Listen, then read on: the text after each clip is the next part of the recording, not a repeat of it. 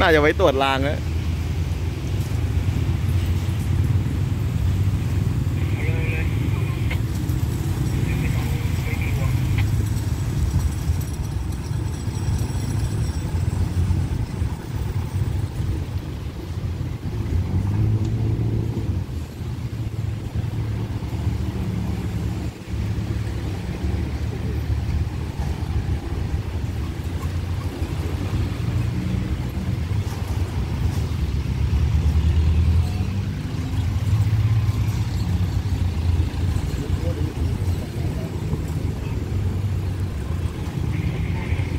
ฝั่งนี้อะ